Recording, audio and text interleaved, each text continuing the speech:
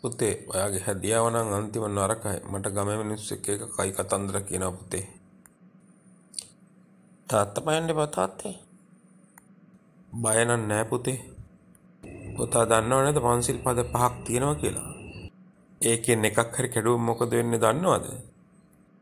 ඔව් තාත්තේ. හතරක් ඉතුරු වෙනවා.